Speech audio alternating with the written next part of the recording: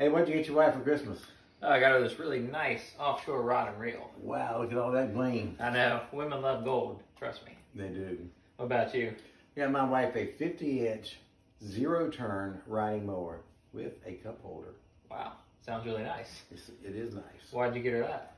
I got tired of her pushing that little 22 inch mower over two acres. Yeah, that sounds really thoughtful. It's a good idea. Yeah, yeah, I'm a thoughtful person. Women love thoughtful stuff. They do.